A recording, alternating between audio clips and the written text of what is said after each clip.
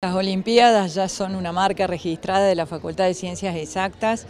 Recibir a, estudiantes de, la escuela media eh, de la manera que lo hacemos, de la manera comprometida, tanto de los docentes de nuestra facultad como de los docentes de la escuela media, que traen a, todos esos estudiantes de distintas localidades, provincias de todo el país, este, y todos apasionados por la biología. ¿no? Es, un momento, la verdad, que muy importante. La vinculación que se genera, una verdadera vinculación entre la universidad y, y el nivel medio. Como decía usted, ya es una actividad histórica para la facultad, con todas las instancias de preparación también que se viven. Sí, sí, ya este, e, es histórica, es algo que ya ha quedado, queda marcado en la facultad y en la Universidad Nacional de Río Cuarto.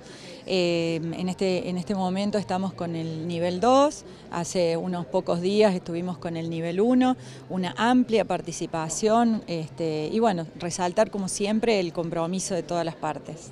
¿Hay actividades también previstas para los docentes que acompañan a los chicos que van a participar? Sí, sí, los docentes siempre están participando tanto de las actividades este, relacionadas con eh, concretamente con la biología, como de otras actividades que se hacen en, el marco de la universidad para, para conocer, para, para vincularse, para generar este, espacios de debate entre ellos.